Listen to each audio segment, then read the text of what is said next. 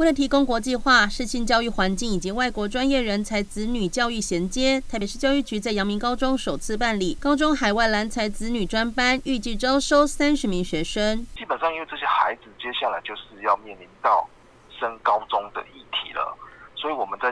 一百一十一学年度，我们在那个阳明高中有成立一个高中阶段的海外蓝才专班。为了持续提供海外蓝才子女适性教育环境以及升学进路，特别是教育局办理的高中阶段海外蓝才子女专班，透过实验教育计划保留课程弹性。那成立这个专班，除了让这些孩子可以在就学的方面可以做一个衔接之外，